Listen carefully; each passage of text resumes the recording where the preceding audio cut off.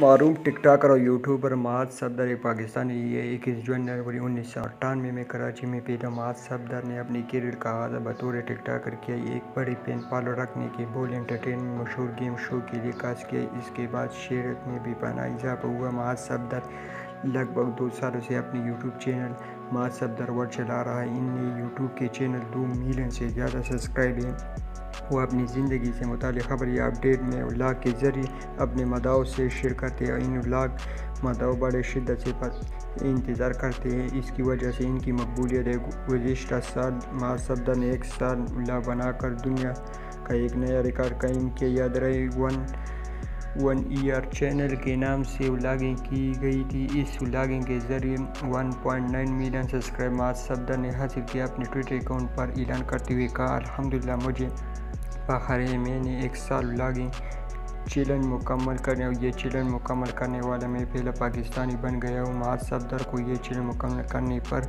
मरूफ blogger, YouTuber डकी भाई मुबारकबाद भी दी गई थी। इस मकबूलियत के बाद, शादी के बाद पूरी इंटरटेनमेंट के मकबूलियत तरीन शो में दोबारा शिरकत की थी।